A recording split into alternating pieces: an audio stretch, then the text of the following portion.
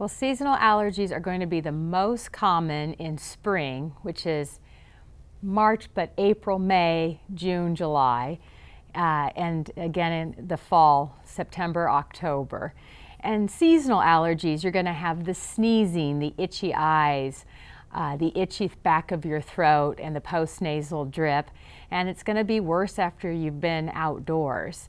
It differs from a cold in that a viral infection can cause fevers or chills.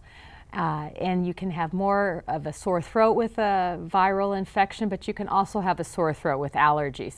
So there certainly is a lot of overlap between uh, viral, cold, and allergies, but looking at the time of year and whether or not you're sneezing or having itching with it, and maybe some eye symptoms uh, can help delineate the difference.